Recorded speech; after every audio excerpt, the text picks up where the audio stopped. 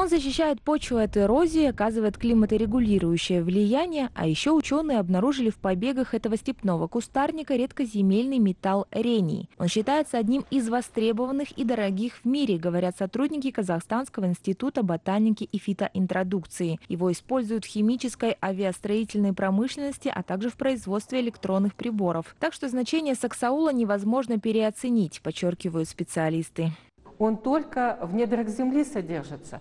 Но тут они э, в надземной части его нашли. Но э, доли, конечно, очень небольшие, но э, как бы это, я думаю, что это не имеет значения, это для науки имеет значение, потому что раньше только в в недрах Земли это находилось.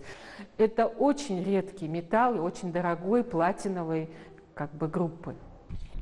Свойства главного дерева пустыни остаются все еще не до конца изученными, утверждают исследователи. По их словам, из саксаула можно изготавливать еще и лекарственные препараты.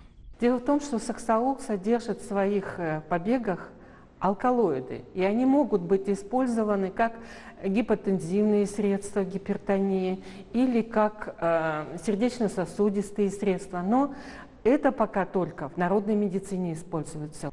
Помимо того, что основными функциями саксаула остаются лесообразование и предохранение от опустынивания, отмечают исследователи, он также является естественной средой обитания для многих животных и птиц. А значит, продление моратория на его вырубку, подчеркивают биологи, окажет благоприятное влияние на окружающую среду всего региона.